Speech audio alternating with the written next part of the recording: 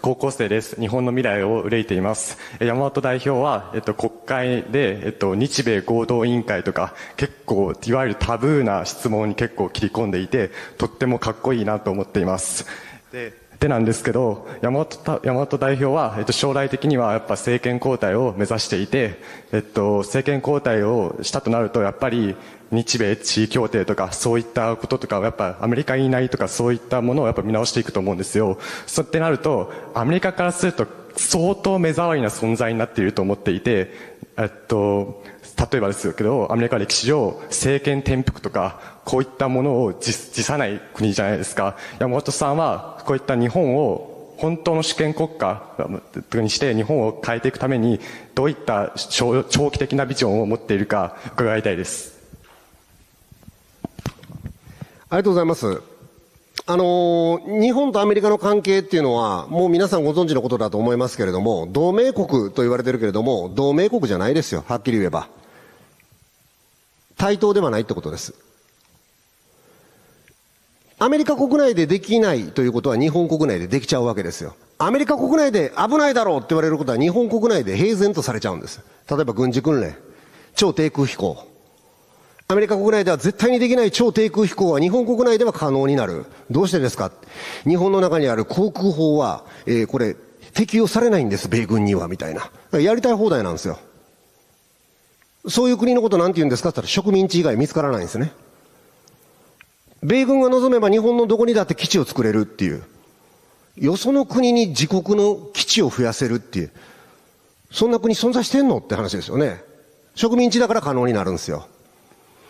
これ、米軍との関係だけじゃなくて、日本国内における様々な施策っていうのは、アメリカからの要求だ、経団連のみならず、米国からの要求も多くあるわけですよ。いろんなことを日本は、えー日本の経済が弱体化していくようなことをアメリカ側の要求によって前に進めてきたっていう、これまでの経緯があるんですね。で、申し訳ないけど、これ受け入れ続けるのまずいぞって話なんですよ。だって対等な関係にならなきゃダメでしょってことなんですよ。属国のままじゃダメだよって。じゃないと引っ張られるもん。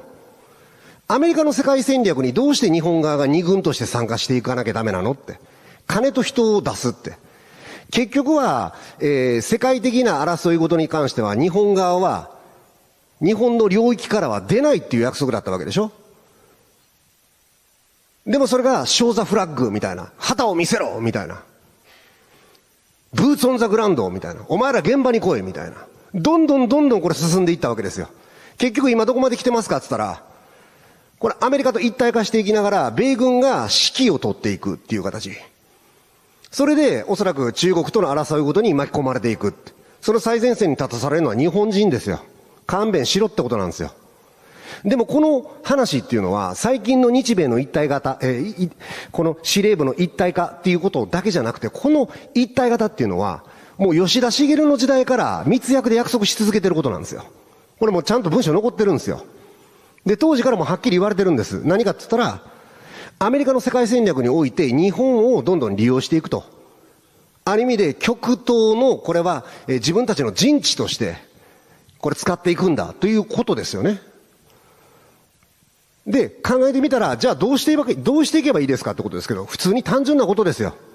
米軍は世界的に展開をしているけれども、日本以外の国では、それぞれの国のルールに従ってますってことなんです。これ最低限じゃないですかアフガニスタンにおいても、イラクに関しても、それぞれの国のルールに従ってたんですよ、最低限。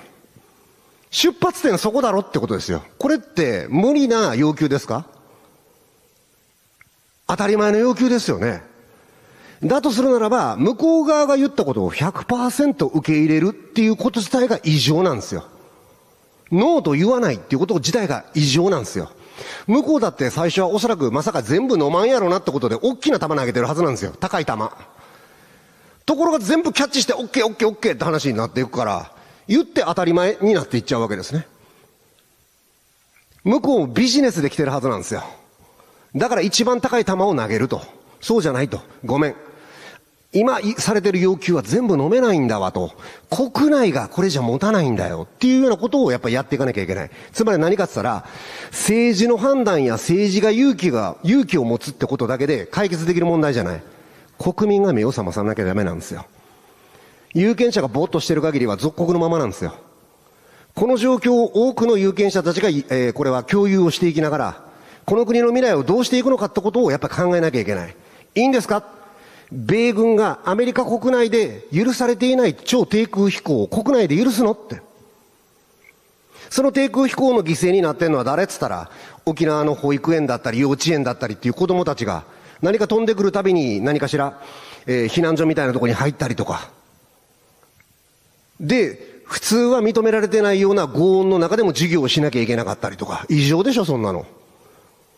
その子供の発育のことに対して、発育というよりも、学習のことに対して責任を持たなきゃいけない文科省であったとしても、米軍にもの言えないっておかしいじゃない、そんなの。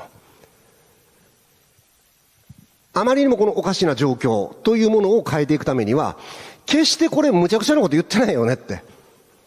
せめてここはこうしていこうよっていうことから始めていく必要があるんだろうと。いきなり大胆なこと言えませんよ。同盟国解消だみたいなことはもうそんなの現実的じゃない。平等って対等な関係で世界と付き合っていくっていうことのベースにあるためには、今の日米関係っていうのは偏りすぎてるわけだから。少なくとも日本国民に対して傷つけるような行為につながるようなことは、これは自粛してもらわなきゃいけない。やめてもらわなきゃいけない。っていう当たり前の要求ですね。そういうところを普通に言っていくっていうか、今みたいな放置プレイし続けたらダメですよ。という話なんです。決して無理なことではないだろうと。はい、あのー、この地位協定っていうのは実は、あの、敗戦国、第二次世界大戦の敗戦国、ドイツ、イタリア、日本、最初みんなあったんですよ。ところが、ドイツとイタリアは頑張って改定してます。日本だけが不平等なまま残ってるんですよ。これはもう日本の怠慢ですよ。ちゃんと努力してない。だから別に殺されるとか、アメリカに抹殺されるとか、そんなことない。そんなこと言ったらドイツとかイタリアの人も抹殺されてますから、努力不足なだけですから、政府にちゃんとやれと、我々しっかり言ってきます。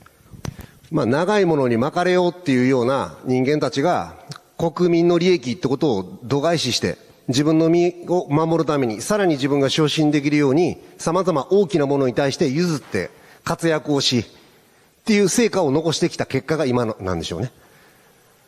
だからそういうような、えー、状況というのは変えていかなきゃいけないなっていう。決して、それって当たり前の要求だろうっていうのが今、他の国の例でよくわかると思うんですよね。